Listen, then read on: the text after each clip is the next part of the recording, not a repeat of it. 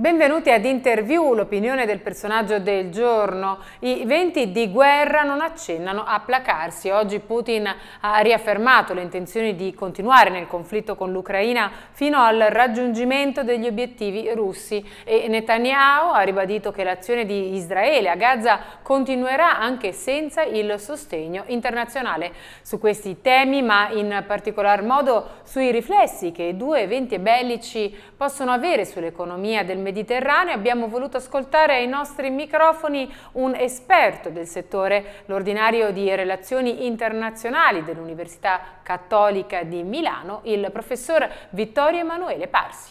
Quello che vediamo è già un saldarsi delle due crisi, il Mediterraneo per molti aspetti eh, è un epicentro, perché non dimentichiamo che l'Ucraina è sul Mar Nero, il Mar Nero è nel Mediterraneo, che i trasporti diciamo, di, di, di, oil and gas che arrivano dalla, dalla, dal Golfo passano comunque in gran parte dal canale di Suez, quindi il Mediterraneo rappresenta veramente un punto in cui la, la volatilità del, della stabilità del sistema si esalta purtroppo per noi. Ecco perché è così importante cercare di chiudere rapidamente la crisi di Gaza, anche perché per noi europei e in generale per, per il sistema internazionale è la guerra russa in Ucraina il punto più delicato.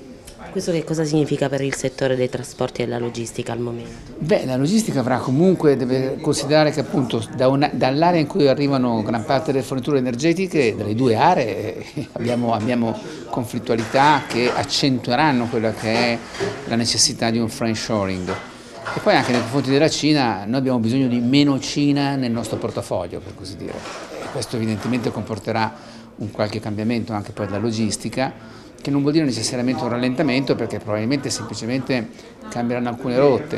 Per molti aspetti la, la vera sfida è tra la Cotton Road e la Silk Road e noi dobbiamo investire sulla Cotton Road. Siamo alla fine della globalizzazione? No, siamo alla eh, riconcettualizzazione della globalizzazione, una globalizzazione che sia in grado di valutare meglio il costo politico quindi non è la fine della globalizzazione, per molti aspetti è un'opportunità per una globalizzazione più ordinata, perché tenendo conto di più variabili sarà una globalizzazione più solida, certo catene logistiche più corte.